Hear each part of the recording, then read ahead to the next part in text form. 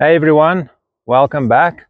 We are into week four and we're going to start the transition phase with a four week program on anticipation or target panic, but we mostly going to call it anticipation because that's basically what it is. It's not really a panic, it's a more natural thing. I think that's the way we should see it. And this is all about the transition phase. And the transition phase is all about incorporating all this new way of thinking into our shooting and daily practice. So let's head into week four and I'll tell you what the transition phase is all about. So this is all about fine tuning. So we're going to go back to the way we were practicing and we're going to keep our fingers on what we're feeling and what's happening in our minds. And if we feel anxiety, we're going to make fine adjustments or just avoid some things for a while just so that we are wiring our brain into shooting a proper shot. That's very important, is not to practice bad habits. If you feel something is off or it's making it worse, something is making your anticipation worse, cut it and rather go practice something that doesn't give you that anxiety for now at least. And we need to remember the combo of three that needs to be in place at the same time to give you your anxiety.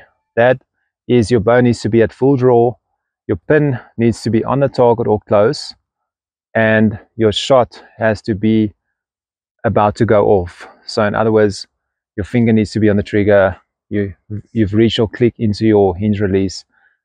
All those three combined, that is what makes you anxious. Now, if you are shooting at home and you're not feeling it anymore, there are triggers in the outside world and also the competition and also even when you practice that's going to make it worse. And it might bring out the anxiety where you didn't feel it when you were practicing in normal conditions. Triggers will be for example wind. It will be timers at a competition.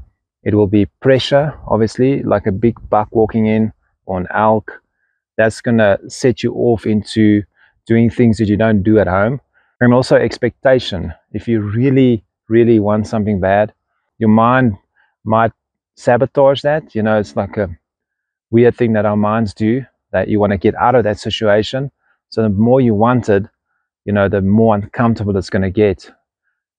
So there are other triggers that you might feel. You're going to feel it for yourself. Um, that's a lot of things like small things like mag magnification, size, you know, your dot size, uh, distance, how far you're shooting, you know. So there's a lot of minor and major triggers that's gonna that's gonna influence your shot. The transition phase is all about this, is managing that, and also finding out where your weakness lies, and then you have to work harder on it. So you're gonna have to work harder to control yourself under those conditions, and you can test these. You know, you can have a subtle um, test. You can have your friend watching you shoot. You can have your wife watching you shoot.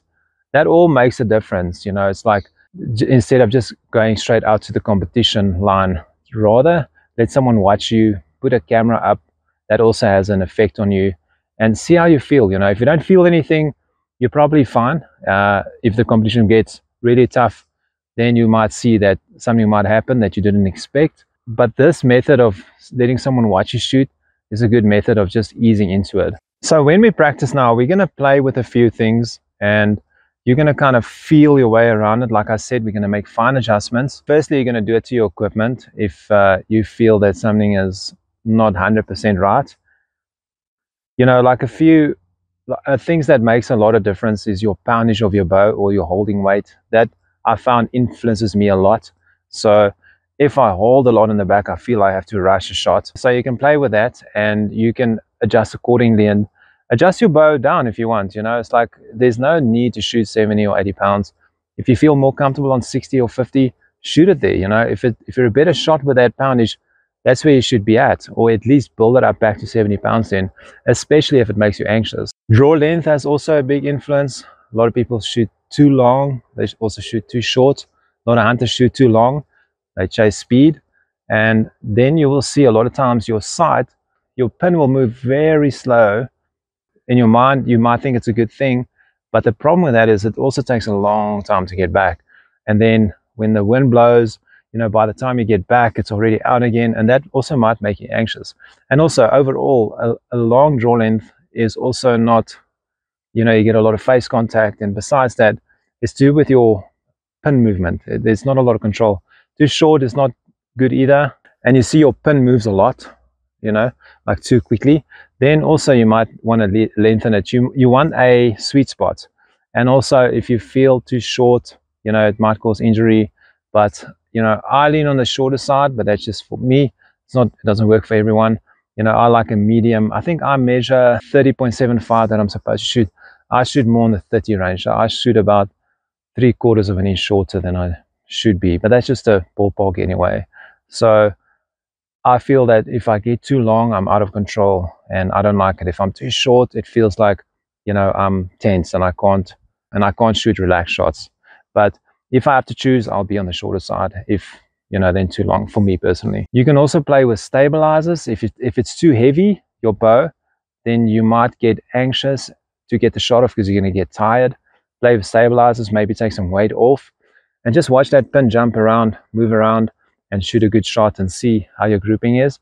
But if it's too heavy and you like, you know, getting stuck below the target, you're definitely going to want to make your bow lighter. You know, it's going to help you get that bow up, even though it's mental. But if you have it too heavy, it's going to make it far worse to get up anyway. And then also maybe add some back weight and just to help you get that bow up, just mentally. You can play with your releases, play with different releases, play with release adjustments like your hinge, you know, you can, if it takes too long to, to get it off, maybe, you know, like try and set it faster, even though a lot of times when it's, when, it, when you fear the release going off, you want to make it slower and actually will go off easier because you're not, you're not on that knife edge of it wanting to go off and you're just breaking it. You like holding onto that release for dear life because you know any movement will let it go off. That's also not a good mind space to be in. You want it to be able to work through the shot to get it off. Your dot size is also very important for the way you see your sight move. If it's smaller, it's going to look like it's moving faster. So if you don't like that, make it a little bit bigger and you'll see it actually looks like it's going to go slower. And magnification also has a big influence on how much your sight movement or perceived movement is. The more magnification there is, the more your sight's going to move around. So you know, like I said the last time as well, if you feel this creeping in and you feel anxiety when you see that pin move, take it out for a while, shoot it like that, or go to a smaller magnification. You can play with that. Also, remember, clarifiers also influence the size of your magnification. So the stronger the clarifier, the weaker it makes your magnification on your scope, and also the harder it is to see your pin. It actually makes it smaller or it makes it dimmer or less visible. So just keep that in mind as well. So all this influences your shooting as well. And remember, we're to, most importantly, we're to keep an eye on our mental aspect of our shooting. All this equipment adjustments makes a difference to our mental game, but it's important for you to keep your finger on where you're at and how you're feeling. And if you're feeling anxiety or, you know, you feel problems are creeping in, you either need to go back to the shot trainer or you need to do something with your bow to help you so that you feel less anxiety and you don't practice bad habits. And remember, follow your shot process. If you feel any red flag coming up, let down, don't practice losing, don't practice shooting bad arrows, you know, let it down. Don't give your mind opportunity to run that auto program. You know, just stay in control. The more the pressure is, the harder it's going to be for you to stay in control. We're going to add pressure and all the elements in this transition phase slowly and see how you cope with it. So try this for a, a week or two and then see how your shooting goes. And this is going to be a program that you might need to follow for the rest of your shooting career. Um, it's not a bad idea because you don't want that anxiety in your shooting and you need to see it before it creeps in. And you need to keep your finger on your mental state when you're shooting and work at it. It's always going to be a work in progress, right? Because remember, our minds are designed to protect us. This is nothing weird or new or whatever. That's just how our minds work. You're going to need to stay in control and work around it and work through it. And we appreciate all the viewers and all the feedback and it's awesome to have you guys on board with us and we'll see you with the next video coming out soon thank you guys